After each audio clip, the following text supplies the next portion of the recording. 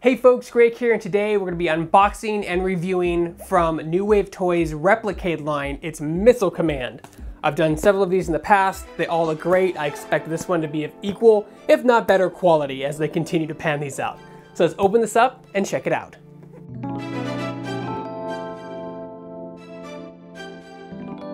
Hey folks, if you enjoy this unboxing and review, be sure to hit that like, subscribe, notification button. It's three small clicks for you, but means the world to us. Let's get started. New Wave Toys is at it again, and this time, they've recreated the classic Missile Command arcade cabinet from Atari. New Wave's packaging always impresses. The collector's box conveys the features, size, art, and everything else you'd want to know about this collectible. It's also packed pretty well. The Missile Command X Replicade measures about 11.3 inches high and has some jaw-dropping detail. The artwork on the sides of the cabinet are pristine replicas of the real thing, and are printed on 3mm vinyl overlays. Seriously, the detail on these things is stellar. The cabinet is made out of a combination of wood, plastic, and the coin door is die cast metal.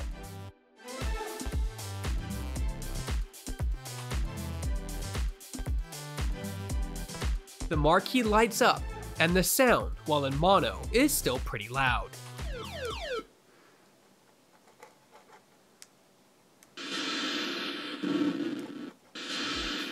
The thing I've always liked about classic late 70s, early 80s arcade games is that developers experimented with unique controllers, and the Missile Command cab is no exception. Look at this detail. It's so fine. That text is so small but somehow still readable. I don't believe that, that's amazing. The trackball feels good for the size, and the LCD color screen has what New Wave Toys calls CRT-FX. It's a lens that gives the look of a CRT monitor, complete with the curved edges.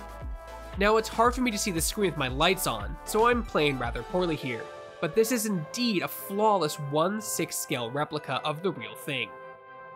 One thing to note is that this Replicade doesn't have an HDMI out, probably due to the unique controls. It's one of the few Replicade machines I've noticed that doesn't have it.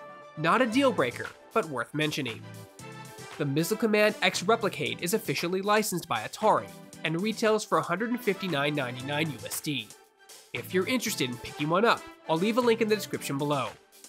If you enjoyed this unboxing and review, please hit that like, subscribe, notification button.